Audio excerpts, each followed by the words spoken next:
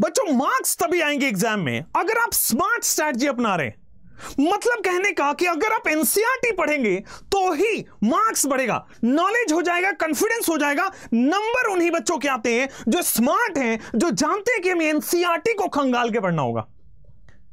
अब आओ, इस वीडियो में मैं एनसीआरटी के टोटल जितने भी ऑर्गेनिक के रिएजेंट्स दिए गए एनसीआरटी में, इससे बाहर सवाल आएगा ही नहीं रिएजेंट्स पे अगर आ रहा है तो। और इस वीडियो से भी दो से तीन नंबर, दो से तीन क्वेश्चन यानी कि दस से बारह नंबर आपके बढ़ सकते हैं।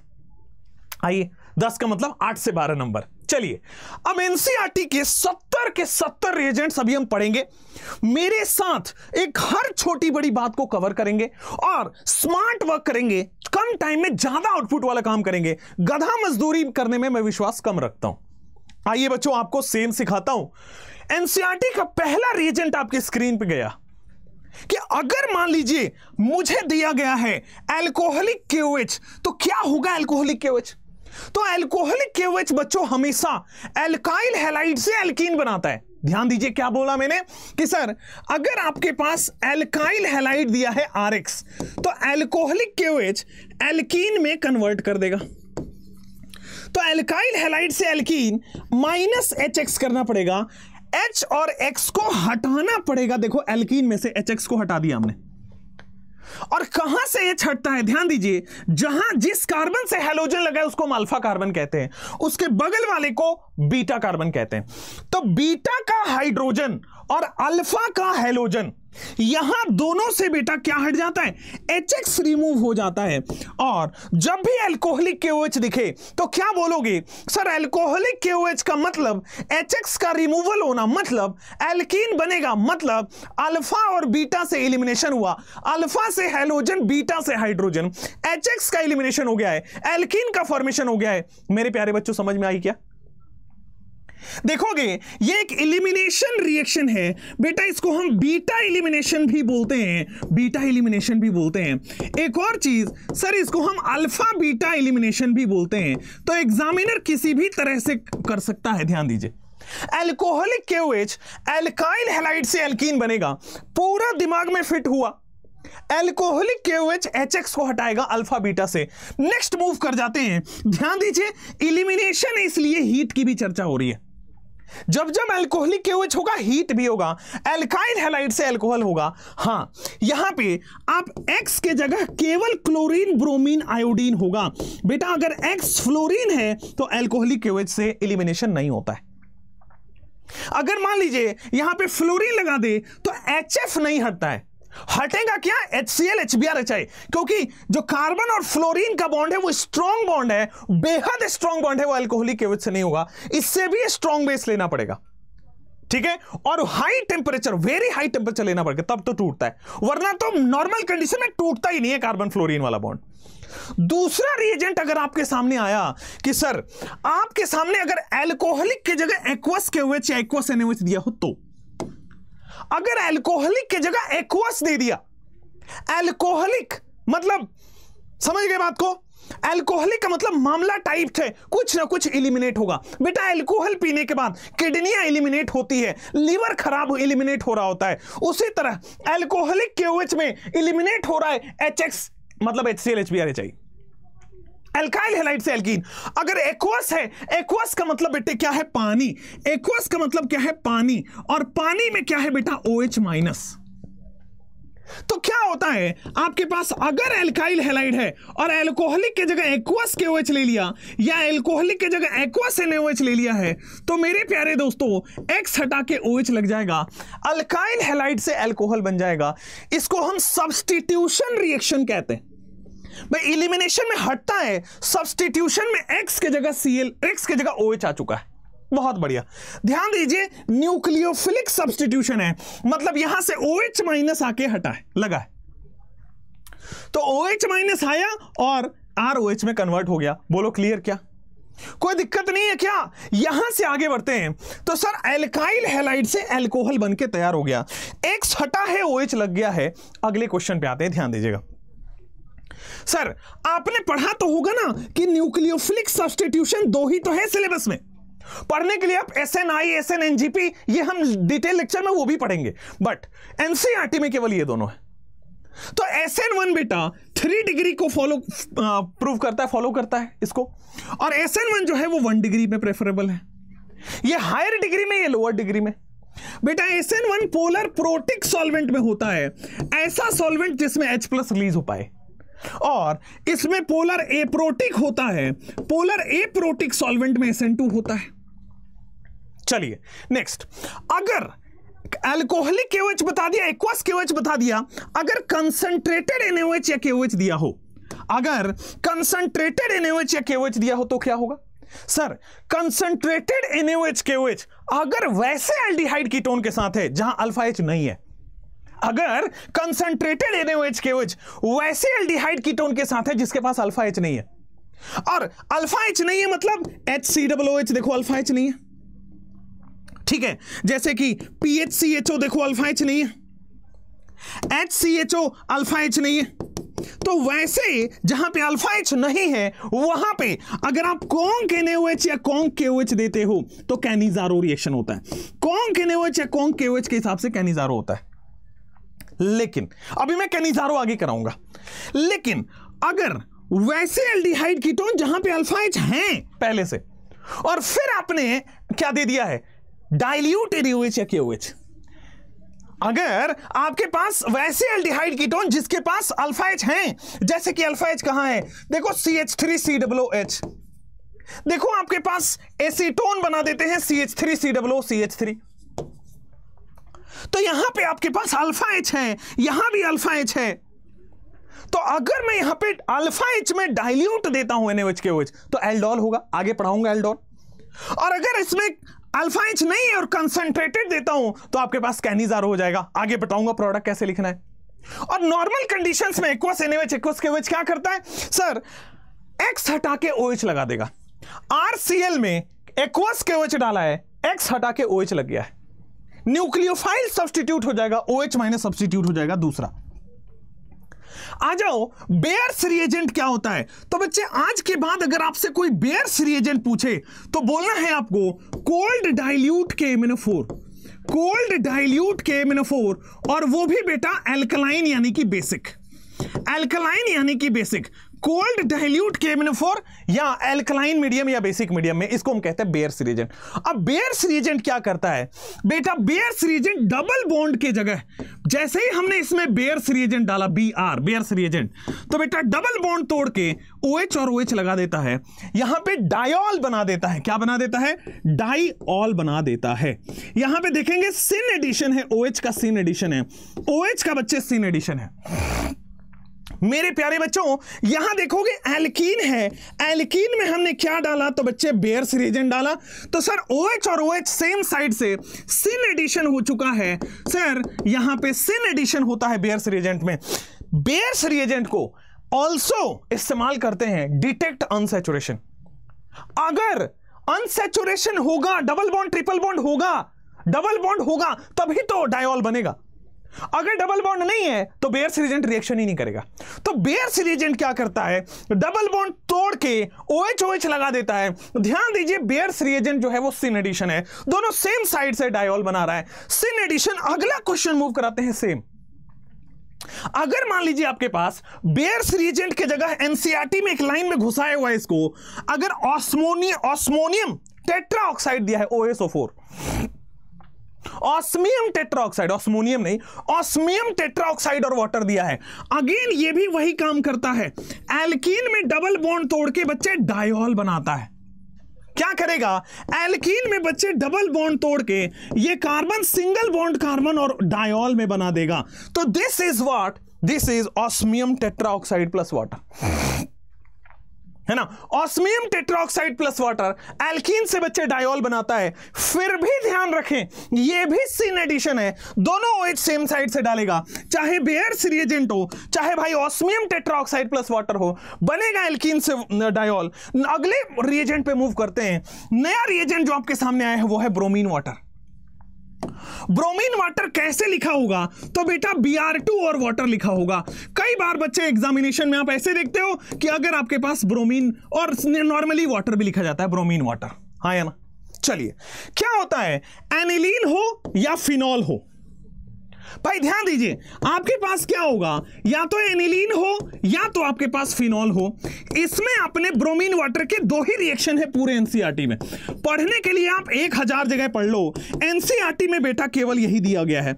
दो ही रिएक्शन है ब्रोमीन वाटर के। कौन से? आ जाओ।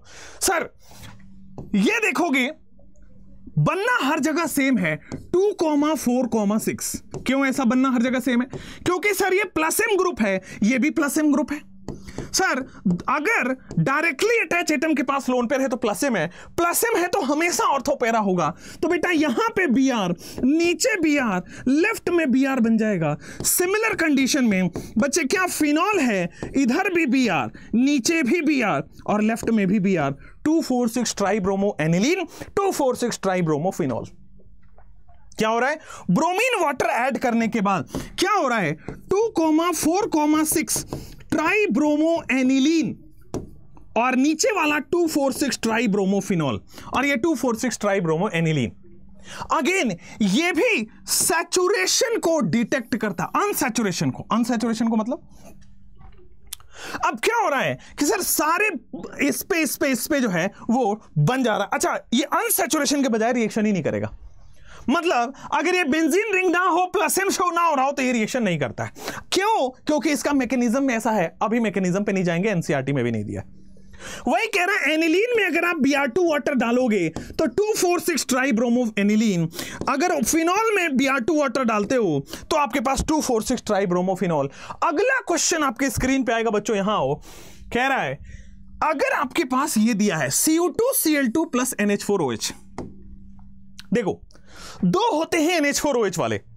एक होता है AGNO three plus NH4OH AgNO3 plus NH4OH तो इसको बोला जाता है बच्चे टॉलेंस रिएजेंट इसको क्या बोला जाता है? Tollens reagent AgNO3 plus NH4OH ammoniacal silver nitrate या टॉलेंस रिएजेंट को कई बार AgNH3 होल ट्वाइस प्लस भी दिया गया है। कोऑर्डिनेशन कंपाउंड के तरह भी लिखा जाता है। अमोनिकल सिल्वर नाइट्रेट इसका कॉमन नेम है। मतलब नेम है। अब आ जाओ। सर, ये तो टॉलेंस है NH4OH के साथ। उसी तरह, ये भी Cu2Cl2 क्यूपरस क्लोराइड क्या है ये बच्चे? कॉपर प्लस वन में है। Cuprous chloride in ammoniacal in ammoniacal ammonia water आप बोल दो। NH4OH अमोनियम हाइड्रोक्साइड ये टॉलेंस रीजेंट है, ये आगे अभी डिस्कस करेंगे। ये एल्डिहाइड के टेस्ट में काम आएगा भी आगे टेस्ट लेंगे इसका। लेकिन पहली बात ये करो क्यूपरस क्लोराइड अगर दिया है एनसीआरटी में दिया है, सर ये क्या करता है? टर्मिनल एल्काइन को डिटेक्ट करता है। ये क्या करता है बच्चे? इट डिटेक्ट्स टर्मिनल एल्काइन ये क्या डिटेक्ट करता है बच्चे? टर्मिनल एल्काइन को डिटेक्ट करता है। बोलो क्लियर समझ में आ रही है?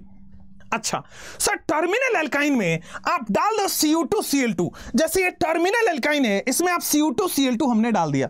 अमोनिया वाटर, यानी कि अमोनियम हाइड्रोक्साइड में। तो क्या होगा? रेड कलर का कॉपर के साथ प्रोडक्ट बनता है। आपसे कोई नहीं पूछेगा प्रोडक्ट बताओ। आपसे पूछेगा कलर ऑफ़ द प्रोडक्ट बताओ। ठीक है ना? तो कॉपर क्यूपरस क्लोराइड का कलर रेड होगा। क्यूपरस क्लोराइड का कलर रेड होगा। जहाँ भी कॉपर का प्रोडक्ट है बच्चे ऑर्गेनिक में। जहाँ भी कॉपर का प्रोडक्ट है ऑर्गेनिक में। टेस्ट की बात कर रहा हूँ। जहाँ भी कॉपर का टेस्ट आ रहा है, या तो वो रेड है, या तो वो रेड ब्राउन है। जहाँ भी कॉपर का टेस्ट है, या वो या तो वो रेड है, या तो वो ब्राउन है। यही अगर आप इनऑर्गेनिक में चले जाओ तो वहाँ ब्लू कलर हो जाता है। ये थोड़ा सा ऑब्जर्वेशन है 99 परसेंट पे ही काम करेगा, एक परसेंट एक्सेप्शन हो सकता है। बट आपका काम चल जाएगा 99 परसेंट से, कि सर जब भी क्यूपरस क्लोराइड की रिएक्शन हो, या कॉपर वाली ऑर्गेनिक में रिएक्शन आए तो वहाँ तो वो रेड ब्राउन होगा, या तो वो रेड होगा। चलो। तो सर टर्मिनल एल्काइन अगर है टर्मिनल एल्काइन कहने का मतलब सी ट्रिपल बॉन्ड सी एच अगर ये वाला कहीं ग्रुप है सी ट्रिपल बॉन्ड सी एच तो ये टर्मिनल होता है। अगर यही non terminal this is the non terminal one sir, ये नॉन टर्मिनल है एच नहीं है उसके पास। ठीक है तो टर्मिनल एल्काइन का पता लगाने के लिए क्यूपरस क्लोराइड लेते हैं हम CO two C two ammonium water में। या अमोनियम हाइड्रोक्साइड में। और रेड कलर का प्रेसिपिटेट बनता है। ध्यान दीजिए रेड प्रेसिपिटेट इज़ ऑब्ज़र्व अगला सवाल आपके स्क्रीन पे आएगा। Sir CRO two CL two ये सीआरओ टू सीएल टू इसको बोलते हैं हम क्रोमाइल क्लोराइड इसको हम क्या बोलते हैं बच्चे? क्रोमाइल क्लोराइड और जब जब क्रोमाइल क्लोराइड का पूरे ऑर्गेनिक में एक रिएक्शन आपके सिलेबस में क्या है? तो सर क्रोमाइल क्लोराइड में पूरा रिएक्शन टॉलवीन पे बेस्ड है। और इस पूरे रिएक्शन का नाम दिया गया है इटार्ड रिएक्शन CrO2Cl2 बच्चे, ये इटार्ड रिएक्शन है। अब इटार्ड रिएक्शन में क्या होता है? सर, आपके पास ये CH3 तो रहेगा ही, साथ में CHO भी बना देता है। दैट मीन्स बेंजल बेंजीन का मिथाइल भी है और आपके पास सीएचओ ग्रुप भी है। तो ये जो आपके सामने इटार्ड रिएक्शन है, वही है कि sir CrO2 Cl2 chromyl chloride Etard reaction aldehyde group CHO group आ जाता है। बढ़िया। अगले सवाल पे जब हम मूव करें तो बच्चे नेक्स्ट रिएजेंट आता है सी आर ओ थ्री अब सी आर ओ थ्री क्या है, ध्यान दीजिएगा। क्रोमियम ऑक्साइड CrO3 ये एक माइल्ड ऑक्सीडाइजिंग एजेंट है। माइल्ड ऑक्सीडाइजिंग एजेंट है। अब बच्चे, माइल्ड ऑक्सीडाइजिंग एजेंट क्या होता है कि सर, ये ऑक्सीडाइज करेगा। ध्यान दीजिए, अगर आपके पास वन डिग्री एल्कोहल रहा तो ये सीधा एल्डिहाइड बना देगा। वन डिग्री एल्कोहल को ऑक्सीडाइज करके एल्डिहाइड में कन्वर्ट कर दिया। टू डिग्री एल्कोहल अगर रहेगा तो बच्चे टू डिग्री एल्कोहल को ऑक्सीडाइज करके ये कीटोन बना देता है, बहुत अच्छा।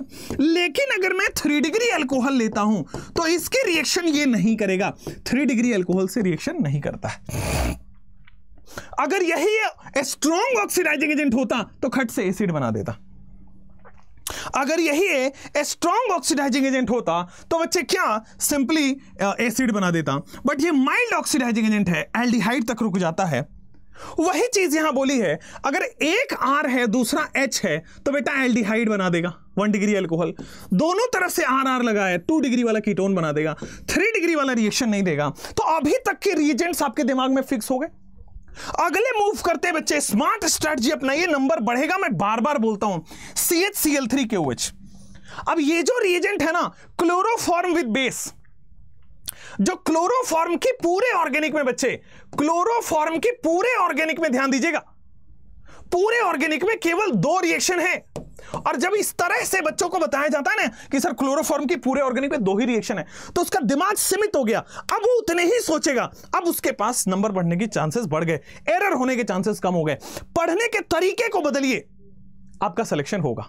नेक्स्ट टू क्लोरोफॉर्म की दो रिएक्शन है।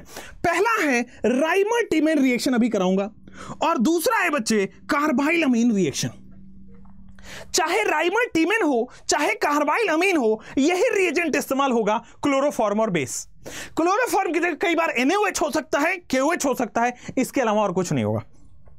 क्लोरोफॉर्म इज़ ऑलवेज फिक्स तो देखो, आपके पास सबसे पहले राइमर टीमेन रिएक्शन तो मैंने बोला है, राइमर टीमेन, रीमा और टीमा. रीमा, टीमा क्या करती है? फिनाइल खरीदने जाती हैं. तो भाई, Reimer Tiemann, R T R बोल रहा हूँ मैं, राइमर टीमेन रिएक्शन रीमा और टीमा बाज़ार गई है फिनाइल खरीदने. और इनको फिनाइल खरीदने गई है तो बेहोश कर दिया क्लोरोफॉर्म से बेहोशी आ जाती है. और बेहोश करके बच्चे, इसको बेस में बिठा लिया बेस का मतलब बस में बिठा लिया.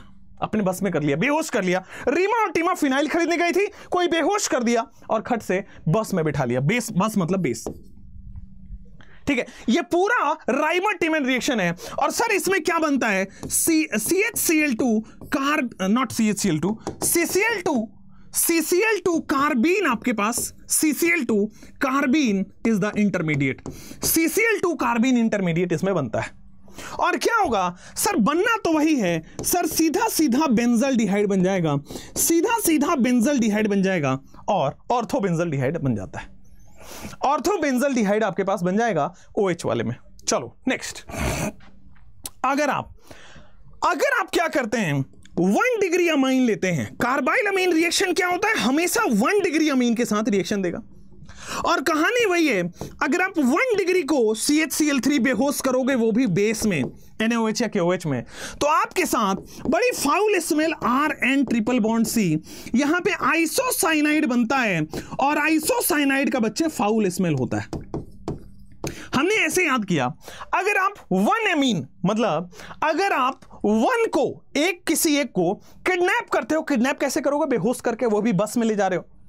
तो क्या होगा, जब आदमी किडनैप हो गया है तो वो R N triple bond C isocyanide यानी कि बहुत गंदी, अब मान लो किडनैपिंग में वो उसकी डेथ हो गई। अब डेथ होगी तो बेटा स्मेल आएगी बॉडी से। तो वही है वन डिग्री को, अगर एक अमीन को, अकेला किसी को किडनैप किया है वन डिग्री अमीन को तो बेटा किडनैप के बाद हो सकता है मौत हो जाए। स्मेल आएगी फाउल स्मेल गंदी स्मेल आइसोसाइनाइड बनता है। C H C L three के एच केवल दो जगह है राइमाटिमेन और कार्बाइलमीन रिएक्शन। दूसरा आते हैं, अगर राइमाटिमेन में सी एच सी एल की तरह जगह है, अगर मैं सी सी एल फोर कर दूँ। यहाँ पे बता देता हूँ आरटीआर रिएक्शन आप ही के एनसीआरटी में दो पार्ट में है। बच्चे, अगर मैं क्या करता हूँ फिनॉल और इसकी रिएक्शन हम करते हैं क्लोरोफॉर्म और केओएच से या एनएओएच से। तो आपके पास बन जाएगा सर क्या बनता है सबसे पहले? यहाँ पे C H C L two आगे लग जाता है। क्या लगता है? C H C L two further जब आप इसकी हाइड्रोलिसिस करते हो बेस के प्रेजेंस में तो ये दोनों के दोनों क्या हो जाएँगे बच्चे? ओ OH है और सी एच ओ बन जाएगा बेंजल डिहाइड लेकिन अगर मैं सी देखो ना, दो क्लोरीन है दो क्लोरीन हटा के दो OH यानी कि एल्डिहाइड बन जाएगा।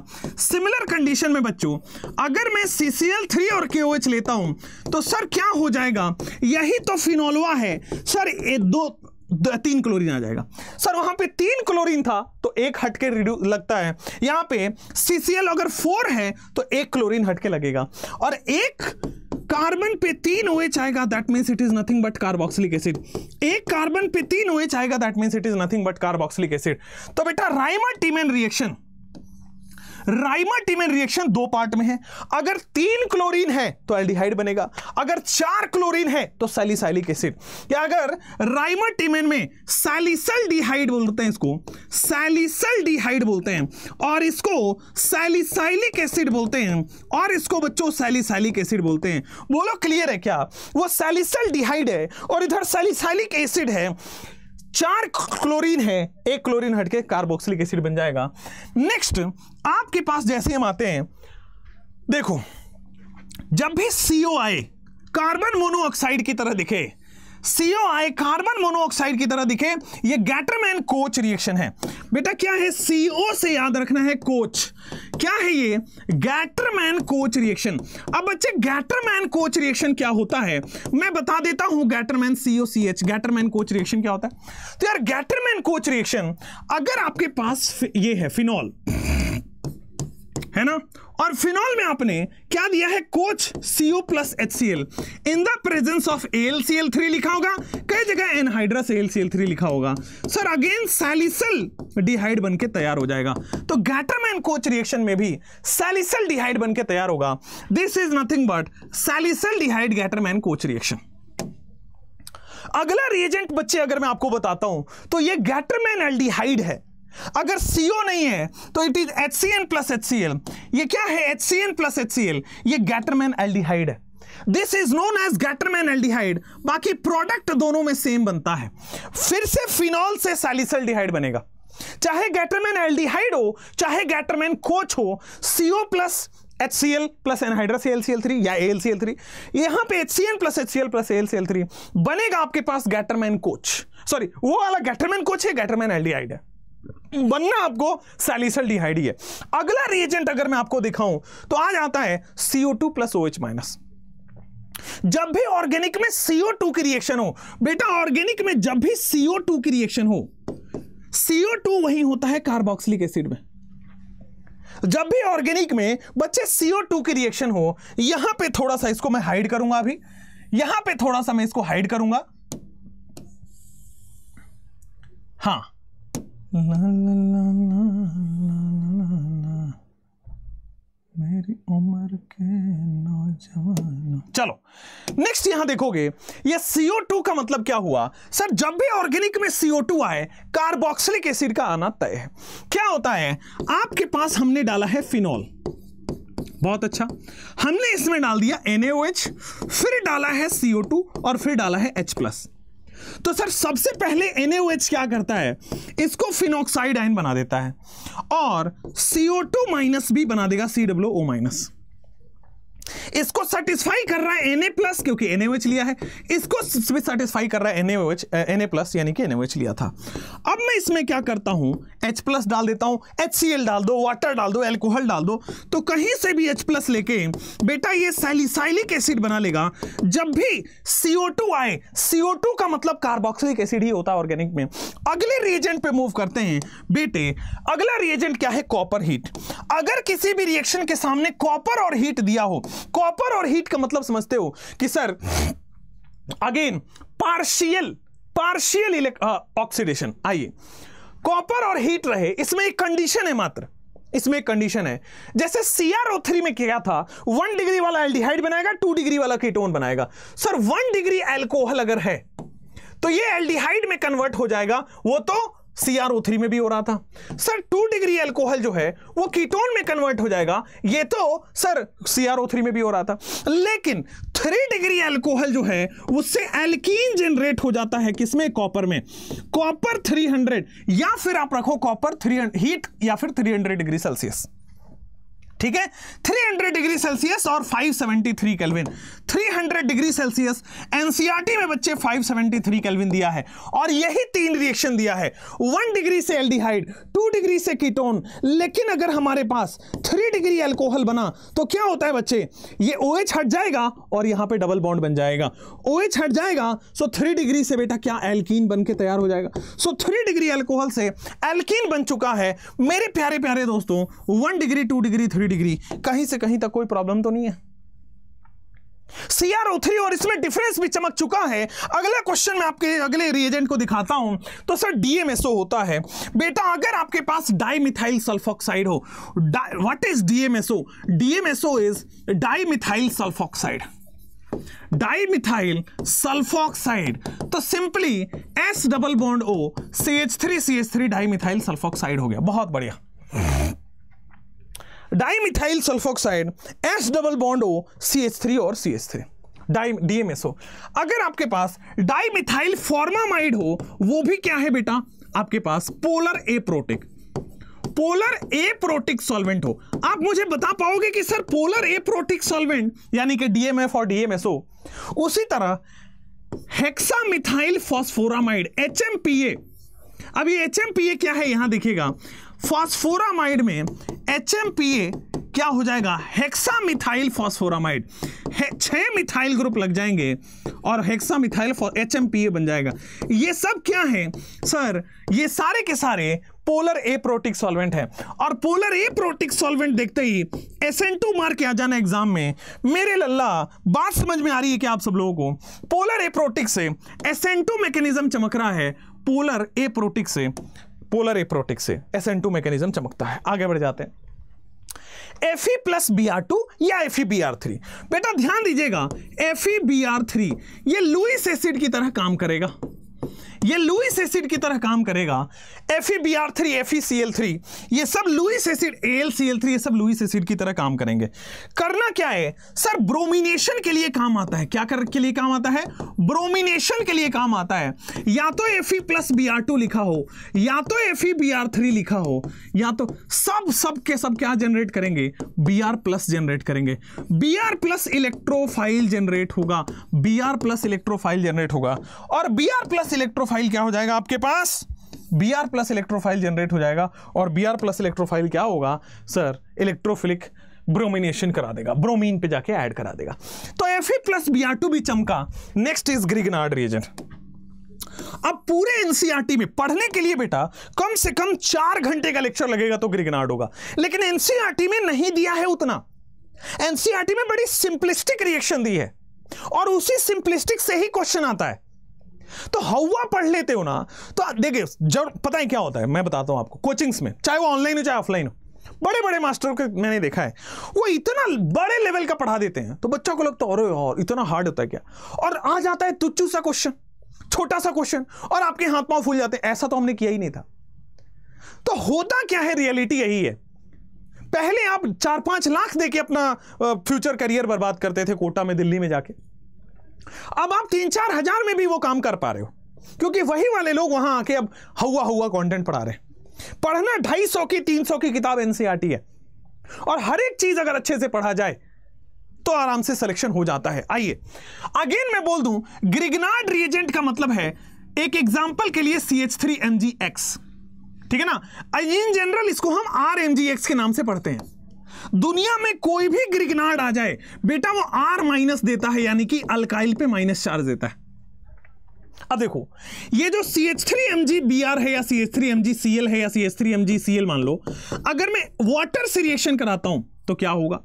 अगर मैं इसकी रिएक्शन आर ओ एच से कराता हूँ तो क्या होगा? अगर मैं इसकी reaction R N H two से कराता हूँ तो क्या होगा? तो देखते रहिए क्या क्या रिएक्शन होगा। बेटा, यहाँ पे सी एच थ्री माइनस तैयार है। इस बेबी को बेस पसंद है, इस माइनस को प्लस पसंद है। सामने एच प्लस पड़ा है एल्केन इसको कहते हैं एसिड बेस रिएक्शन सामने H प्लस आपको दिख रहा होगा R O minus H plus यहाँ पे भी H प्लस पड़ा है तो मीथेन बना देगा। एसिड बेस का मतलब सर ये माइनस है, इसको सामने से प्लस मिल जाए एसिड बेस रिएक्शन हो जाएगा। अब आ जाओ।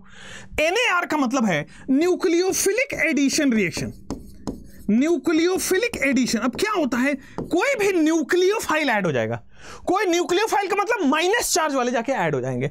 अब देखो, अगर मैं C H three M G B R ले लेता हूँ और इसके रिएक्शन में कराता हूँ C H three C double bond O H से तो क्या यहाँ से बेटे सी एच थ्री माइनस चमका? और इस माइनस को बेटा प्लस पे जाके अटैक कराएँगे क्या? बिल्कुल सही है।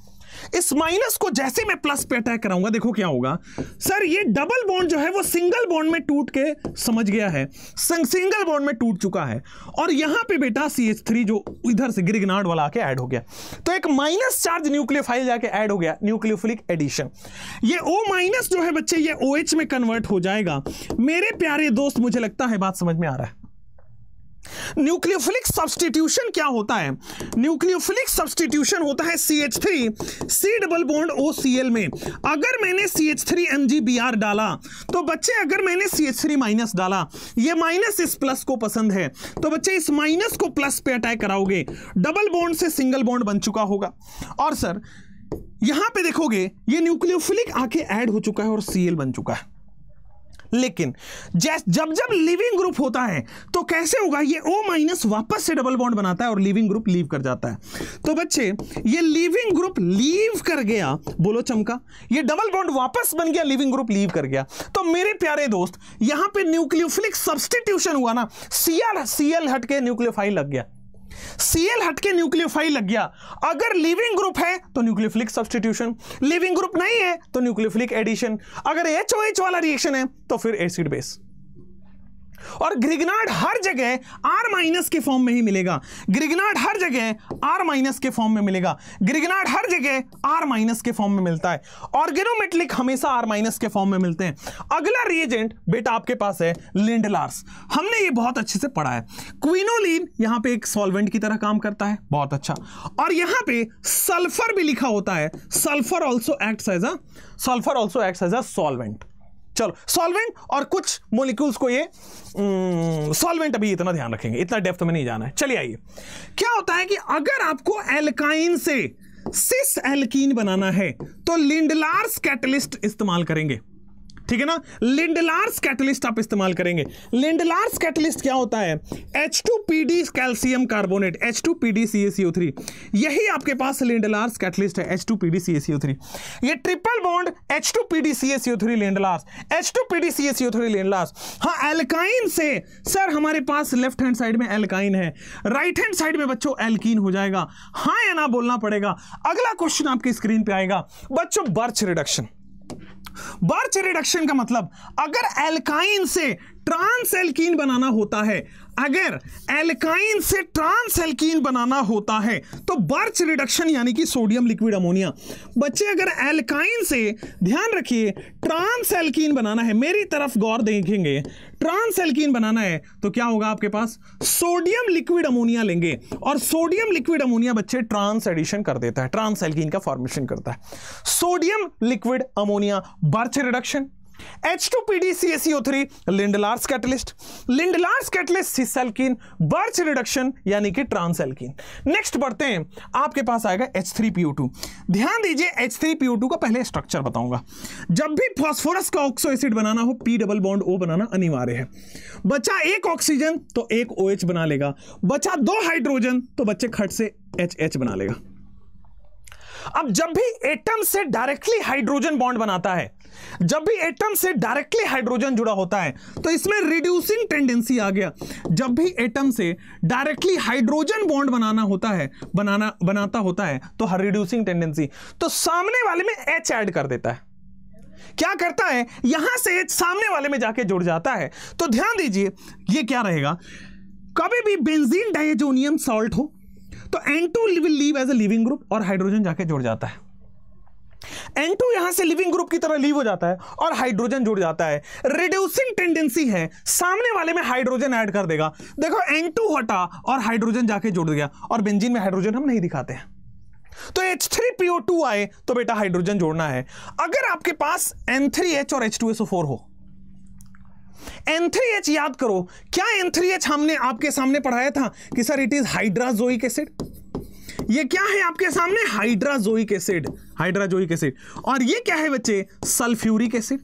तो जब जब हाइड्राजोइक एसिड और सल्फ्यूरिक एसिड आता है तो हमने याद कराया था आपको, शिमिट रिएक्शन एस का मतलब सल्फ्यूरिक एसिड सी का मतलब कार्बोक्सिलिक एसिड कार्बोक्सिलिक एसिड चमक रहा है। बेंजोइक एसिड है। और एच का मतलब हाइड्राजोइक एसिड। तो अगर hydrazoic acid, sulphuric acid, carboxylic acid मिले तो आपके सामने एनिलीन या फिर अमाइन बनता है।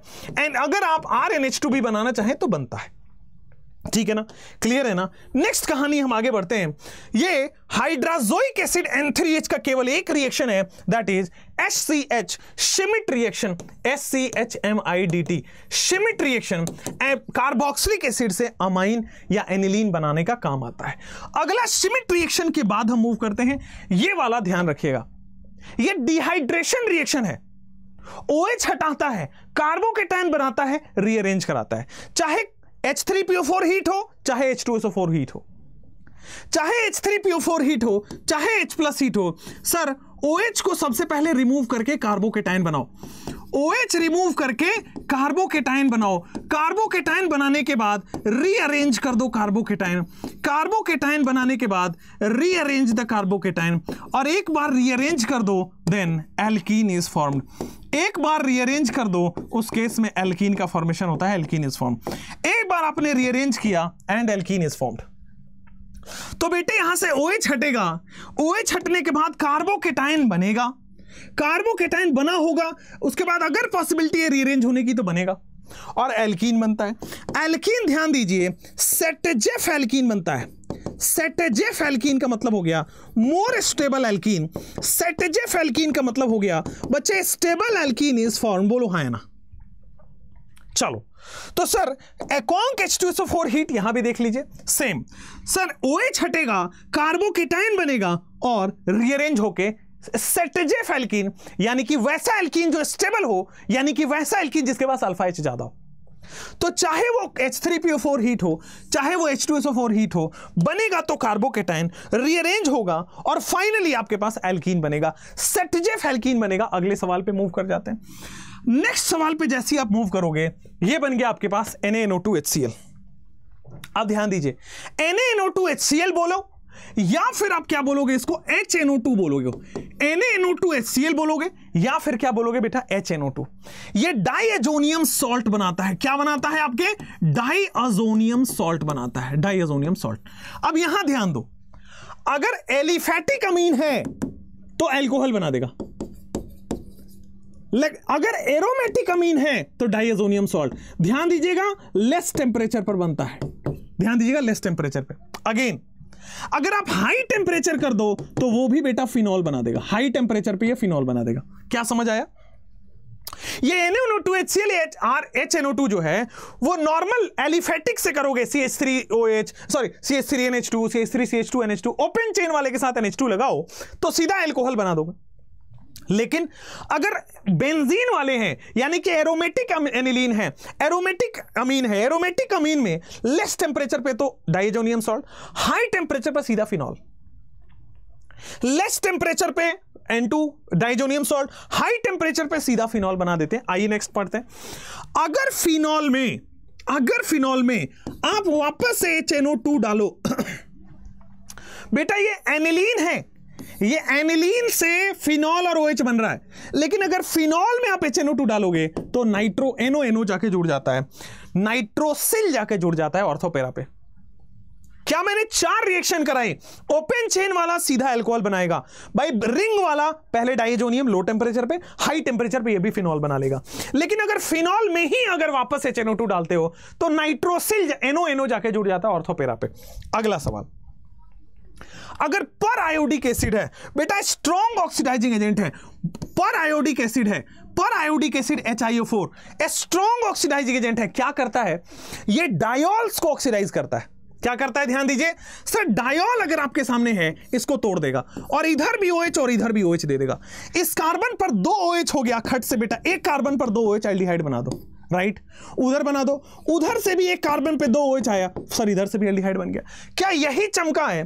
पर आयोडिक एसिड बेटा बॉन्ड तोड़ता है ओएच ऊपर नीचे लगाता है डबल बॉन्ड हो डबल बॉन्ड हो चमकता है। नेक्स्ट कहानी आपके स्क्रीन पे आएगी। बेटा एच टू निकल। ये आप सब H two nickel Sabatier and Senderens reaction आपने पढ़ा होगा। 300 डिग्री सेल्सियस टेम्परेचर यहाँ यूज़ होता है। अब क्या क्या ये रिड्यूस करता है? तो सारे कुछ रिड्यूस कर देता है। कीटोन को 2 डिग्री अल्कोहल में रिड्यूस कर देगा। एल्डिहाइड को 1 डिग्री अल्कोहल में रिड्यूस कर देगा। बेटा R C triple bond N को C H two N H two बना देता है। सारे ट्रिपल बॉन्ड को तोड़ दिया। सिमिलरली बेटा सी ट्रिपल बॉन्ड सी को सिंगल बॉन्ड में बना दिया। सी डबल बॉन्ड सी को सिंगल बॉन्ड में बना दिया। भाई, इतना तो हमें पता है कि ट्रिपल बॉन्ड को सिंगल बॉन्ड में हाइड्रोजिनेशन है catalytic hydrogenation Sabatier and Senderens reaction बेटा डबल बॉन्ड को भी तो सिंगल बॉन्ड में बनाता है। है ना? सी ट्रिपल बॉन्ड एन को भी ये C H two N H two बनाता है। दोनों तरफ़ दो दो हाइड्रोजन जोड़ दिया। अच्छा R C double bond O H है तो बेटा ये वन डिग्री एल्कोहल में बनाया कि नहीं बनाया? सर, अगर ये कीटोन है R C double bond O R है तो बच्चे ये टू डिग्री एल्कोहल में बनाया कि नहीं बनाया? मज़ेदार वे में हम आगे बढ़ते हैं। अगले सवाल की तरफ़, क्या आ जाएगा H two P B S बेटा, ये है आपके पास H two P D B S four ये है आपके पास बेटा क्या है? H two P D B S four Rosenmund reduction H two P D B S four ये क्या हो जाएगा? रोजन मंड रिएक्शन अब रोजन मंड क्या करता है? R C O C L जब भी एसिड है आपके पास R C O C L acid chloride उसको ये आर सी ओ एच में बदल देता है। रिडक्शन रिएक्शन है। आपके पास चाहे एलिफेटिक हो, चाहे एरोमेटिक हो, बेटा सीएल हटा के ओ एच लगा सीएल हटा के एच लगा देगा। रिडक्शन है एच जुड़ जाएगा सीएल हट के एच जुड़ जाएगा। तो आपके पास रोजन मंड रिडक्शन है रोज का मतलब होता है कहाँ? ये फूल है, फूल कहाँ होता है? बाग में मतलब बी ए मतलब बाग में। बाग का मतलब क्या हो गया आपके पास? रोजन मंड और रोजन मंड में बाग बाग का मतलब बी इस्तेमाल होता है। H two P D B S O four H two P D B S four अगले रिएजेंट की तरफ़ अगर मैं आपको दिखाऊँ Jones reagent important reagent NCERT का रिएजेंट क्या होता है? सीआरओ थ्री अगर नॉर्मली रहता था तो पार्शियल था वो। सीआरओ थ्री अगर एच टू एसओ फोर और एसीटोन के साथ आया तो क्या होता है? अगेन वन डिग्री को एल्डिहाइड और टू डिग्री को कीटोन वन डिग्री को एल्डिहाइड और टू डिग्री को कीटोन वन डिग्री को एल्डिहाइड और टू डिग्री को ketone Jones reagent selectively one degree quality two degree ketone CRO three plus H two S four plus acetone अगले सवाल पे move करें अगर तो बच्चे ये है K two C R two O seven strong oxidising agent है। बेटा स्ट्रॉन्ग ऑक्सीडाइजिंग एजेंट क्या करेगा? सबको एसिड में कन्वर्ट कर देगा। लेकिन टू डिग्री को तो कीटोन ही कन्वर्ट करेगा। Strong oxidising agent one degree alcohol को सीधा सीधा एसिड में बना देगा। अगर टू डिग्री अल्कोहल है तो सर वो एसिड तो नहीं कीटोन बनता कीटोन का फर्दर ऑक्सीडेशन नहीं होता है। है ना? वन डिग्री अल्कोहल एल्डिहाइड बनता है और एल्डिहाइड का फर्दर ऑक्सीडेशन बेटा एसिड में कन्वर्ट हो जाता है। टू डिग्री वाला सीधा कीटोन बनाता है। अगले क्वेश्चन पे अगर मैं मूव करूँ तो बेटा क्या बन जाएगा? MnO2 ध्यान दीजिए MnO2 भी बड़ी सिंपलिस्टिक रिएक्शन है। क्या होता है? यह भी ऑक्सीडाइज करता है MnO2 लेकिन केवल और केवल CH2OH एल्कोहल को। एल वन डिग्री एल्कोहल को बच्चे एल्डिहाइड में कन्वर्ट कर देगा। सिमिलरली बेटा बेंजाइलिक एल्कोहल को ऑक्सीडाइज कर देगा बेंजल्डिहाइड में। तो क्या करता है? या तो एलाइलिक हो, या तो बेंजाइलिक ओएच हो, सबको ये कार्बोनिल सीएचओ में कन्वर्ट कर देता है। एलाई बेंजाइलिक का मतलब बेंजीन से लगे कार्बन से ओएच लगा है दिस इज़ बेंजाइलिक एलाइलिक का मतलब सी डबल बॉन्ड ओ से लगे कार्बन से ओएच लगा है दिस इज़ एलाइलिक तो ये एलाइलिक है, ये बेंजाइलिक है, दोनों के दोनों ऑक्सीडाइज होके बेटा एल्डिहाइड बना लेते हैं MnO2 से. MnO2 से कौन ऑक्सीडाइज होगा? तो एलाइलिक और बेंजाइलिक ही. अगला नेक्स्ट पढ़ोगे. NaHSO3 सॉरी NaHCO3 इसका रिएक्शन वीवीआईपी कर लीजिए, आ जाएगा। इसमें क्या होता है कि सर, ये जो कार्बोक्सिलिक एसिड है कार्बोक्सिलिक एसिड इसको ये क्या करता है सर? H प्लस हटाता है। क्या होता है? R C double bond O H है जो है, वो R C double bond O O minus में हो जाता है। ठीक है ना? क्यों? क्योंकि सर, ये बेसिक नेचर टेंडेंसी का है। सोडियम मेटेलिक मेटेलिक बाइकार्बोनेट है बेसिक होगा। अब बेस जो है वो एसिडिक हाइड्रोजन को चुरा लिया। बहुत अच्छा sir R C double minus बना लिया। और CO2 आपका रिलीज़ होता है। लेकिन CO2 किसका? ये वाला CO2 रिलीज़ होता है। इसीलिए NaH के साथ जो कार्बन है, वो CO2 में रिलीज़ होता है, यही पूछा जाता है। NaH के साथ जो कार्बन है, वही यहाँ पे CO2 में रिलीज़ होता है। NaH के साथ जो कार्बन है, वही बच्चे यहाँ पे CO2 में रिलीज़ होता है। अगले पे मूव करते हुए नेक्स्ट रिएजेंट बच्चे यहाँ पे मूव कर जाते हैं NaOH बहुत सिंपल है बच्चे NaOH एक्वस कैसे होगा? अब NaOH क्या होता है? RH से ROH में कन्वर्ट कर लेते हैं। एल्काइल हेलाइड से RH से ROH में कन्वर्ट हो गया। सिमिलरली आप देखेंगे एस्टर में अगर आपने NaOH डाला है तो अगेन ये क्या होगा? कार्बोक्सिलिक एसिड में बन जाएगा। ये वाला हाइड्रोलिसिस ऑफ़ एस्टर आपके सिलेबस में नहीं, आप इसको काट सकते हैं। नेक्स्ट अगर आपके पास एल्डिहाइड है तो एल्डिहाइड फर्दर बेटा कैनिजारो रिएक्शन देखो, अगर आपके पास एच सी एच ओ है और कॉन्ग के नेच आपने डाला तो क्या होगा? सर एक बार ऑक्सीडाइज होके H C W minus N A plus बन जाएगा। एक बार रिड्यूस होके C H two O H में कन्वर्ट हो जाएगा। दैट्स इट एक बार रिड्यूस होके C H two O H में कन्वर्ट हो जाएगा। इनफैक्ट आप काम करो C H three O H कर दो। समझे? सिमिलर कंडीशन में अगर आपके पास एल्डिहाइड है C H three C double bond O H और इसमें आप एनओएच डालते हो एल्डॉल अगर आप डाइल्यूट एनओएच डालोगे तो बेटा ऐसा कार्बोनिल जिसके पास अल्फ़ा एच है। तो ये क्या करेगा? आपके पास एल्डोल रिएक्शन दे देगा। एल्डोल का मतलब है कि sir alpha beta unsaturated carbonyl बना देता है। Alpha beta unsaturated aldehyde slash ketone alpha, beta unsaturated aldehyde slash ketone बनाता है। अगले ऑल इंपॉर्टेंट ऑर्गेनिक के बाद हम मूव कर जाते हैं। कहाँ पे? Sir NAOR NAOR is a strong base NAOR क्या है? सर, ये एक स्ट्रॉन्ग बेस है ओ आर माइनस ठीक है? ए स्ट्रॉन्ग बेस है, ये ओ आर माइनस तो क्या होगा? ध्यान दीजिएगा। अगेन यहाँ से एच और एक्स रिमूव होकर एल्कीन बन गया। जैसे एल्कोहलिक केओएच स्ट्रॉन्ग बेस है। वैसे ही एनएओआर ये एक एल्कोहलिक केओएच ही है। ये क्या हो गया बच्चे आपके पास? दिस इज़ एल्कोहलिक एनएओएच ठीक है ना? क्या हुआ होगा? एनएओएच प्लस आरओएच तो वाटर यहाँ से रिमूव कर दो और आपके पास आर ओ एन ए या फिर इसको आप एन ए ओ आर लिख दो। तो this is alcoholic KOH alcoholic NAOH वाला। A strong base alcoholic KOH alcoholic NAOH बेटा, आपके पास क्या बना देगा? फटाक से एल्कीन ई टू इलिमिनेशन कर देता है। ठीक है ना? अगले रिएजेंट पे मूव करते हैं। ये क्या आपके सामने दिख रहा है? NAOH plus X two N H plus C L two N NAOH plus B R two तो क्या ये हॉफमैन ब्रोमा हेलो फॉर्म रिएक्शन दो जगह है हेलो फॉर्म रिएक्शन पहला है बच्चे आपके पास हेलो फॉर्म रिएक्शन दूसरा है हॉफमैन ब्रोमाइड डिग्रेडेशन अगर ये कीटोन से मिथाइल कीटोन से, अगर इसके पास मिथाइल कीटोन हुआ तो मिथाइल वाला part C H X three बना लेता है. मिथाइल वाला पार्ट हेलो फॉर्म यानी कि सी एच एक्स थ्री बना लेगा. और अगर एक्स आयोडीन है तो C H I three iodoform और आयोडोफॉर्म जो है बच्चों, वो येलो कलर का है. अगर मिथाइल और कीटोन है NOH plus X two B R two plus NOH K B R two plus K O H C L two plus NOH C L two plus K O H अगला। ये क्या बन जाएगा? Amide अगर amide में आपने क्या किया है? B R two plus K B R two plus N दिया है तो क्या होता है? ये सीओ टू यहाँ से रिमूव हो जाता है। ये सीओ टू निकल के बेटा अमीन बन जाता है Hofmann bromamide degradation B R two KOH sir ये हेलो फॉर्म रिएक्शन देगा। ये हॉफमैन ब्रोमोमाइट डिग्रेडेशन देगा। अगले क्वेश्चन पे मूव करें। क्या हो जाएगा बेटा? सी ओ क्या आपको दिख रहा है सर ये सोडा लाइम डीकार्बोक्सिलेशन ये सोडा लाइम डीकार्बोक्सिलेशन है। सर, ये CO2 रिमूव करता है। स्टेप डाउन रिएक्शन है। क्या होगा? सर, यहाँ से सीधा सीधा CO2 हटा दो। CO2 हटाने के बाद अल्केन बन जाएगा। एक कार्बन कम का प्रोडक्ट बनेगा। स्टेप डाउन रिएक्शन बच्चे बोलते हैं। अगले क्वेश्चन पे मूव करते हुए, बेटा MnO300 MnO2 वो बेंजाइलिक और एलाइलिक को ऑक्सीडाइज करता है। MnO क्या करता है? CO2 और वाटर को रिमूव करता है कार्बोक्सिलिक एसिड में। MnO2 is different MnO is different MnO में क्या हो गया? बेटा, दो मोल आपने क्या लिया है? कार्बोक्सिलिक एसिड दो मोल आपने क्या ले लिया है? कार्बोक्सिलिक एसिड तो आपको क्या करना है? सर वाटर भी रिमूव हो रहा है और CO2 भी रिमूव हो रहा है।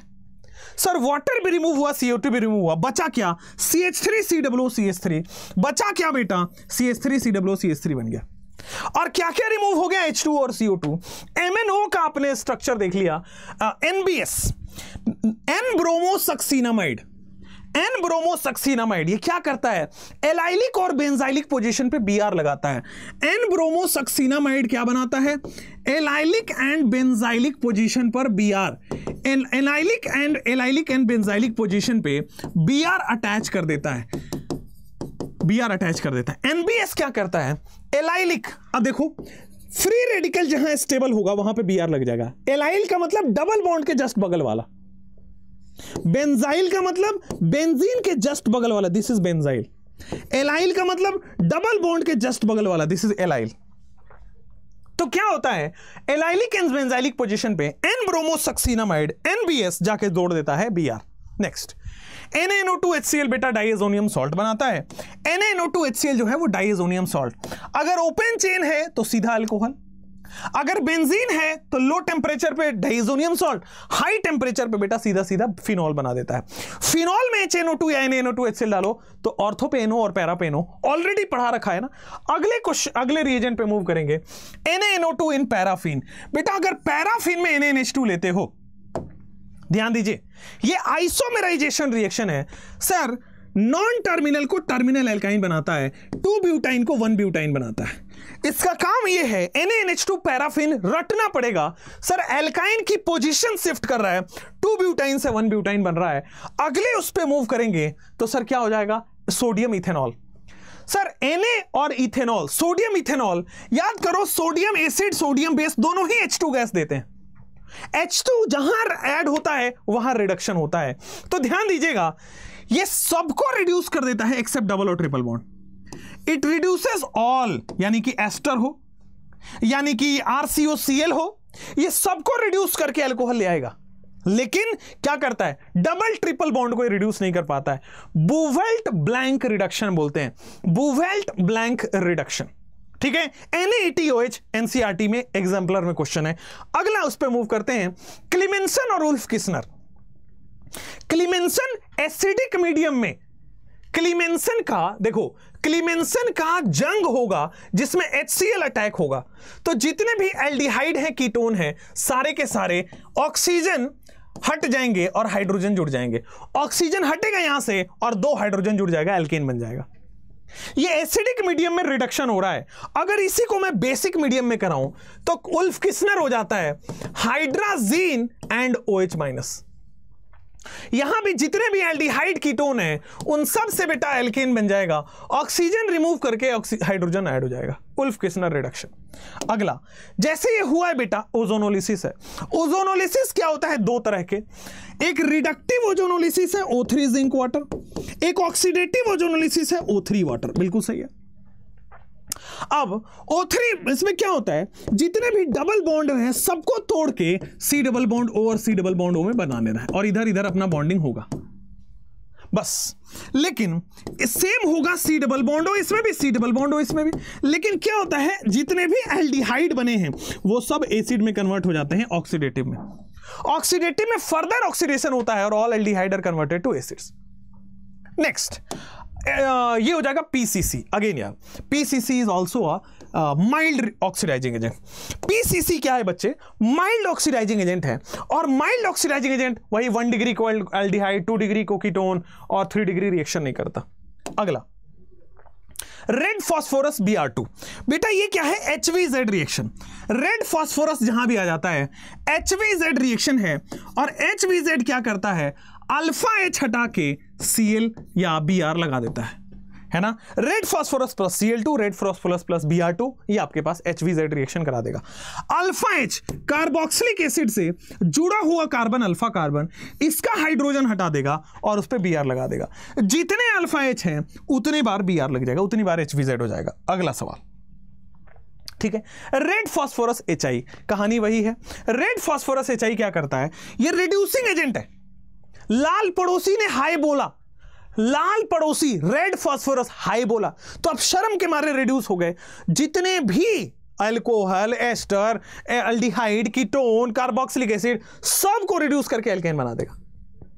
कोई भी ऑक्सीजन और हेलोजन कंटेनिंग कंपाउंड है, सबको रिड्यूस करके एल्केन बनाता है। लाल पड़ोसी ने हाई बोला रेड फॉस्फोरस एच तो बच्चे, अगर आपके पास, ये बेयर विजिलर आपके पास नहीं है। लेकिन बेयर विजिलर अगर आया तो क्या करना है? ध्यान दीजिए, अगर आपके सामने एमसीपीबीए लिखा हो मेटाक्लोरो पर बेंजोइक एसिड। क्या होगा? एमसीपीबीए लिखा हो तो सीधा सीधा कीटोन से एस्टर बनाता है। बस यहाँ ध्यान रखना होगा। ये एनसीआरटी में बेटा एमसीपीबीए का क्वेश्चन है। और दो तीन लाइन में पूरा एमसीपीबीए खत्म कर दिया है। सेम जितने भी कीटोन होंगे, उनको एस्टर में कन्वर्ट कर देगा। कीटोन होंगे बेटा, उनको एस्टर में कन्वर्ट कर देगा MCPBA metachloro perbenzoic acid, इसको क्या बोला जाता है? Baeyer Villiger oxidation oxygen add कर रहे हैं। ऑक्सीजन, ऑक्सीडेशन है। बियर विजिलर ऑक्सीडेशन हो गया। अगला। फ्रीडल क्राफ्ट एल्काइलेशन ये नहीं बताएँ तो ज़्यादा अच्छा रहेगा। R C L anhydrous L C L three R plus carbocation बनता है। रीअरेंज होता है। फाइनली जाके लग जाता है। R CO C L R CO plus बनता है। फ्रीडल क्राफ्ट एल का एसाइलेशन है आर सीओ प्लस बिना रीअरेंजमेंट के जाके जुड़ जाता है। नेक्स्ट इज़ आपके सामने बन गया है conc H two four. Esterification आपको बहुत डिटेल में बताया है कि अगर आपके पास कोई एल्कोहल है और उसकी रिएक्शन आप करा रहे हो एसिड से तो एसिड का आर सीओ आता है और एल्कोहल का ओ आर आता है। तो एसिड का ये वाला पार्ट एल्कोहल का ये वाला part acid plus alcohol will be ester similarly anhydride plus alcohol will be ester similarly R CO C L plus alcohol will be ester ठीक है ना? या तो एसिड प्लस एल्कोहल ये भी एस्टर देगा। आपके पास एनहाइड्राइड प्लस एल्कोहल ये भी बच्चे एस्टर देगा। या फिर आपके पास R CO C L plus ester alcohol ये भी एस्टर देगा। एसिड से ये वाला पार्ट चुराना है एनहाइड्राइड से ये वाला पार्ट चुराना है आर सीओ सी एल से ये वाला पार्ट चुराना है, जो ओ आर वाला पार्ट है वो एल्कोहल का होगा, जो ओ आर वाला पार्ट है एस्टर का, वो एल्कोहल का हो जाता है। चलिए, अगले क्वेश्चन पे मूव करें। ये बन जाता है S N C L two H C L बेटा, बड़ा सिंपल है। ये S N C L two H C L क्या करता है? आपके पास metal plus acid H two gas छोड़ेगा। और इसको हम स्टीफन रिडक्शन बोलते हैं। Stephen Stephen reduction Stephen reduction इसको बोलते हैं। आइए। अगर R C triple bond O N को अगर R C triple bond N को हमने रिड्यूस किया R C triple bond N तो सबसे पहले S N C L two plus H two H two H C L S N C L two और H C L डेल दो। तो क्या बनेगा? R C double bond R C double bond H और एन एच बन जाएगा। हमने क्या किया? हाइड्रोलिसिस हमने हाइड्रोलिसिस किया है तो R C double bond O H और प्लस एन एस थ्री बन जाएगा। इस वाले पार्ट से R C double bond O H और इस वाले पार्ट से बेटा एन एस थ्री बन जाएगा। मेरे हिसाब से एल्डिहाइड प्लस अमोनिया क्लियर है क्या? R C double bond O H और उस साइड से अमोनिया बन गया। अगले सवाल पे मूव कर जाते हैं। This is the next part आ जाएगा S N plus H C L again metal plus acid बेटा H C L H two gas evolve करता है तो नाइट्रो को एनिलीन बना देगा। सी ट्रिपल बॉन्ड एन को C H two N H two hydrogen जोड़ना इसका काम है। ठीक है ना? R C triple bond N है तो बेटा ट्रिपल बॉन्ड है ना तो तीन, आपको दो डबल बॉन्ड हटाना पड़ेगा तो दो हाइड्रोजन जोड़ दो, इसीलिए आर सी एच टू और इधर भी दो हाइड्रोजन जोड़ दो एन एच टू तो this will be R C H two N H two हाँ ना? This will be R C H two N H two चलिए तो मेटल प्लस एसिड भी आपके पास हो चुका है। अगला कोई बचा है क्या? हाँ Hunsdiecker reaction B R two C C L four क्या होता है? सीओ टू यहाँ से हट जाएगा। यहाँ से कार्बोक्सिलिक एसिड से आर एक्स बन जाएगा। एजीएक्स बन जाएगा। सीओ टू रिलीज़ हो जाएगा। This is Hunsdiecker reaction CO two release हो जाएगा एक्स बन जाएगा एजीएक्स बन जाएगा। Hunsdiecker reaction B R two C C L four और C L two C C L four अगर मॉइस्चर है तो बेटा ओ OH जुड़ेगा। सीएल हटा के ओ OH लगाना है। मॉइस्ट एजी टू सीएल हटा के ओ OH लगाना है। खत्म। मॉइस्चर है moist AG two CL CL हटा के एसओ सीएल टू क्या करता है बेटा? ओ OH हटा के सीएल ये सब बहुत सिंपलिस्टिक रिएक्शन है। O H R carboxylic acid हो या एल्कोहल हो ओ एच हटा के बच्चे बच्चे सी लग जाएगा। ओ एच हटा के बच्चे क्या लग जाएगा? सी लग जाएगा। मुझे लगता है यहाँ तक क्लियर हो गया। अगले सवाल पे मूव कर जाए, अगले उस पर टॉलेंस रिएजेंट। टॉलेंस रिएजेंट क्या करता है? आइए मैं आपको बताता हूँ। देखो, टॉलेंस रिएजेंट बेटा, टर्मिनल एल्काइन भी टॉलेंस टेस्ट देता है। एल्डिहाइड ग्रुप भी टॉलेंस टेस्ट देता है। कीटोन टॉलेंस टेस्ट कभी नहीं देगा। Alpha hydroxy ketone Tollens test देता है और फॉर्मिक एसिड भी टॉलेंस टेस्ट देता है। अब ये याद रखना पड़ेगा। किसके किसके साथ पॉजिटिव टॉलेंस टेस्ट आ रहा है? अब टॉलेंस रिएजेंट के लिए याद करो, यही तो लिखा था अमोनिकल सिल्वर नाइट्रेट यही तो लिखा था अमोनिकल सिल्वर नाइट्रेट या फिर एनएच NH4OH प्लस AgNO3 या फिर NH4OH प्लस AgNO3 या अमोनिकल सिल्वर नाइट्रेट या फिर AgNH3 होल ट्वाइस प्लस बहुत बढ़िया। जैसे ये हुआ तो ध्यान दीजिए ट्रिपल बॉन्ड हो, या एल्डिहाइड हो, या फॉर्मिक एसिड हो, या अल्फ़ा हाइड्रोक्सी कीटोन बेटा, कीटोन हो ना, अल्फ़ा कार्बन पे हाइड्रोक्सी अगर लगा हुआ है तो ये भी आपका टॉलेंस देगा। अल्फ़ा कार्बन पे हाइड्रोक्सी हाइड्रोक्सी का मतलब ओएच होता है। अल्फ़ा कार्बन पे हाइड्रोक्सी मतलब ओएच है। तो कीटोन देता है, हाँ, लेकिन अल्फ़ा हाइड्रोक्सी कीटोन देता है। एसिड देता है, हाँ, केवल मिथेनोइक एसिड, या फिर फॉर्मिक एसिड। एल्डिहाइड देता है, हाँ टर्मिनल एल्काइन टॉलिस देता। हाँ मैच वो आपके मल्टीपल चॉइस बना के लास्ट में लिख देगा ऑल ऑफ़ दीज नेक्स्ट आइए तो बेटा, फेलिंग सॉल्यूशन केवल और केवल सीएचओ ग्रुप एल्डिहाइड देता है। बेंजीन वाले नहीं देंगे पीएचसीएचओ नहीं देगा। और बेनेडिक्ट में क्या होता है? सॉरी फेहलिंग में क्या होता है? सीयू टू और रेड ब्राउन मैंने बोला था ना? या तो रेड पीपीटी या तो रेड ब्राउन पीपीटी कॉपर कभी भी ऑर्गेनिक में आ गया तो। देखो क्या होता है। ये कॉपर प्लस टू जो है ना सीयू प्लस वन में बन जाता है। और क्या हो जाएगा? रेड ब्राउन पीपीटी किसके साथ? केवल और केवल सीएचओ के साथ। बेंजीन वाले फेलिंग नहीं देंगे। नेक्स्ट जैसे ही हमने ये किया, अगला देख लोगे बेनेडिक्ट सॉल्यूशन अगेन बेनेडिक्ट में भी बेटा सी यू प्लस वन है और ब्रिक रेड या रेड है। बेनेडिक्ट में भी रेड पीपीटी बनता है। और कोई नहीं पूछेगा फेलिंग सॉल्यूशन फेलिंग क्या है? बेनेडिक्ट क्या है? कलर पूछा जाता है।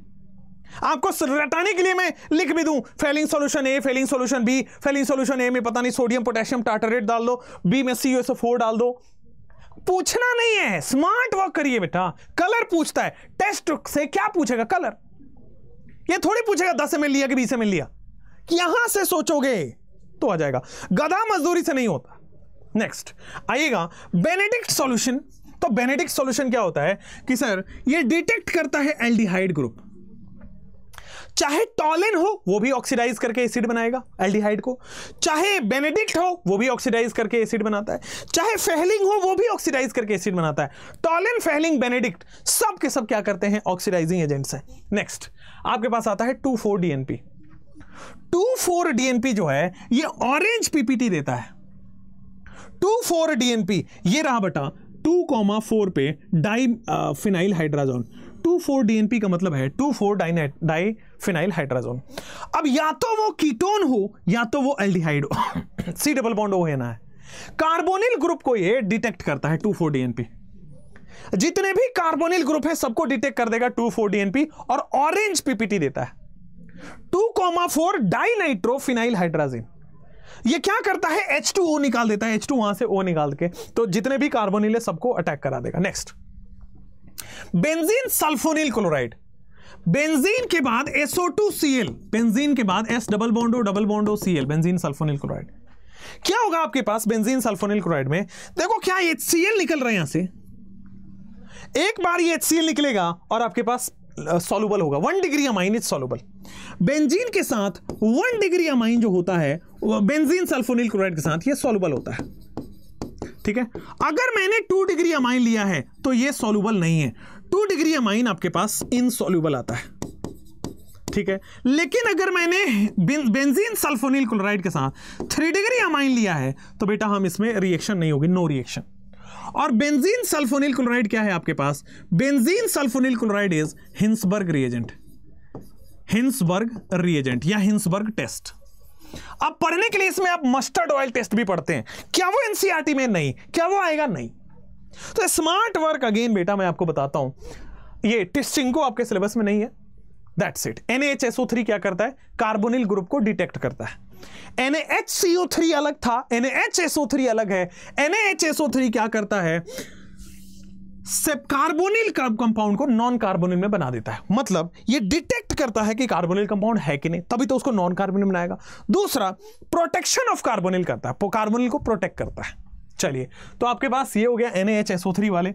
अगले उस पर मूव करते हैं V2O5 लास्ट अगर बेंजीन में हाई टेम्परेचर यानी कि 500 डिग्री सेल्सियस करोगे तो आपके सामने मैलिक एनहाइड्राइड बनेगा। पूछा हुआ सवाल है बेंजीन में हाई टेम्परेचर 500 पे मैलिक एनहाइड्राइड लेकिन वही 300 पे फिनॉल बना लेगा। बेंजीन में V2O5 500 पे मैलिक एनहाइड्राइड बनाता है 300 पे वो फिनॉल बना लेता है V2O5 that's all it thank you that's all सत्तर रिएजेंट्स आपके फिनिश हो गए। यहाँ पे आपके कितने रिएजेंट्स फिनिश हो गए बच्चे? सेवेंटी रिएजेंट्स डन ठीक है? आप इस पीडीएफ को टेलीग्राम से ले लीजिए और उसको देखिए। मैंने बहुत कम टाइम में सेवेंटी रिएजेंट्स आपके दिमाग के सामने से एक बार ओवरलैप कराया है। ठीक है? मैं बार बार बोलता हूँ बच्चे कि आप बहुत बड़े बड़े टीचर से पढ़ते हैं, आप बहुत अच्छे टीचर से पढ़ते हैं, लेकिन वो सिलेक्शन नहीं करा पाते क्योंकि पढ़ाते बहुत अच्छा है। लेकिन क्या पढ़ाना है, यही नहीं पता। और बच्चों के साथ भी ये होता है। मेहनत बहुत की आपने इस साल, आप देख लो। लेकिन फिर भी कॉन्फिडेंस अंदर मन में नहीं है। क्यों ऐसा हुआ? क्योंकि आपको जो पढ़ना था वो आपने पढ़ा ही नहीं। भाई, मुझे अगर खिचड़ी बनानी है तो मैं दाल डालूँगा, चावल डालूँगा और कुछ हरी सब्ज़ी डालूँगा, कुछ मसाले डालूँगा। ऐसा थोड़ी होगा कि मैं गेहूँ डाल दूँ तो खिचड़ी बन जाएगी। हर चीज़ को बनने बनाने का तरीका अपना फिक्स है। अगर आप चीनी में, चीनी डालोगे तो मीठा लगेगा और नमक डालोगे तो खट, वो आपको नमकीन लगेगा। सेम नीट का सिलेबस पढ़ोगे तो सिलेक्शन होगा। नीट को छोड़ के बाकी कुछ भी पढ़ते रहो, नहीं होगा। मेजॉरिटी लोगों के साथ यही होता है। गुमराह होते हो, बहुत बड़ी बड़ी हो, हल्ला, दस मिलियन व्यूज़ एक मिलियन व्यूज़ चार मिलियन व्यूज़ और देखते हैं कि भाई उसमें पता नहीं यूनिटी से और क्या क्या पढ़ा दिया गया। लेकिन उससे सिलेक्शन नहीं होगा। सिलेक्शन होगा एनसीआरटी पढ़ने से, बच्चों। बहुत बेसिक पढ़ने से। शायद मेरे पढ़ाने से लगता होगा, अरे यार, ये तो बहुत सिंपल आपने पढ़ा दिया। क्या ये एग्ज़ाम में है? इज़ इट इनफ बेटा, ये से सिलेक्शन होता है इनफ का पता नहीं। ठीक है? थैंक यू सो मच यार। मिलते हैं आपसे। Bye bye